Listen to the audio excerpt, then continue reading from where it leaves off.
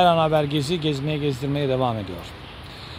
Sakarya'dayız. Sakarya'nın tarihi ve turistik yerlerini tanıtmaya, gezmeye devam ediyoruz. Evet, arkamda gördüğünüz tam 1500 yıllık bir Bizans köprüsü. Burası mevki olarak 5 köprü olarak geçiyor ve Serdivan ilçesinin sınırları içerisinde kalıyor.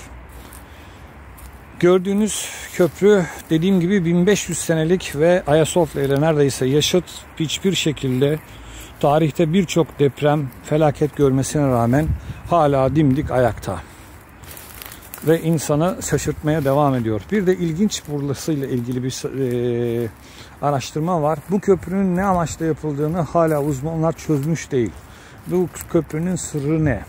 Bunu araştırıyorlar. Çünkü bakın üzerinde şu anda bulunduğumuz sanki geniş bir alanda nehir varmış gibi, onun üzerine yapılmış gibi düşünüyorlar. Ama Sakarya Nehri buradan çok daha ötede akıyor.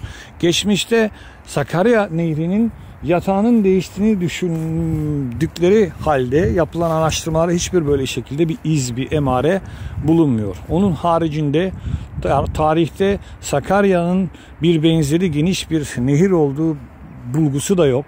O zaman bu ne amaçla yapıldığını şu ana kadar yapılan çalışmalarda hiçbir şekilde kayıtlarda bulunmuş değil. Sadece ilgili uzmanlar e, etrafında detaylı bir arkeolojik çalışmalar, kazılar yapılırsa belki e, bu sorunun cevabını bulabiliriz diye düşünüyorlar.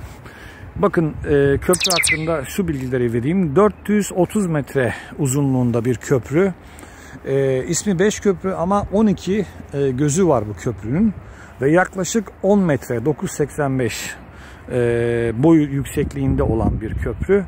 Ve e, hiçbir şekilde e, çok fazla yıpranmadan e, deforme olmadan bu çağ günümüze kadar ulaşmış Anadolu'daki nadir Bizans eserlerinden bir tanesi. Evet.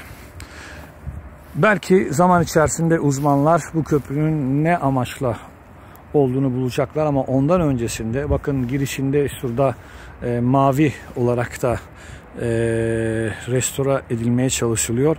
Bir e, tak olduğunu düşünüyorlar. Yani bir anıt şeklinde köprünün girişi veya çıkış tarafındaki karşı tarafta böyle bir e, yapı var. O yapıyla da ilgili çalışmalar devam ediyor. Ama ben şunu e, rica ediyorum yetkililerden.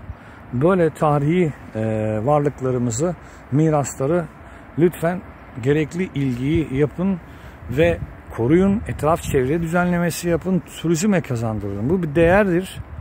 Ve bunu yurt dışında çıkıyoruz. Sizler de görüyorsunuz.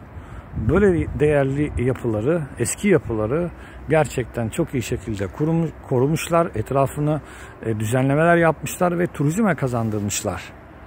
Ama gördüğünüz gibi bakın 1500 yıllık tarihi bir köprü ve ne halde? Az önce altından geçemedik. Neden? Her tarafı e, çalılar, bitkiler e, ve su sarmış su birikintileri var. Lütfen tarihe, tarihi eserlere gerekli ilgi alakayı gösterelim diyorum ve videomu sonlandırıyorum. Değerli dostlarım her an haber gezi olarak yeni videolarda buluşmak üzere hepinize Sakarya Serdivan Beşköprü'den selamlarımı iletiyorum. Her an bizi izlemeye devam edin değerli dostlarım.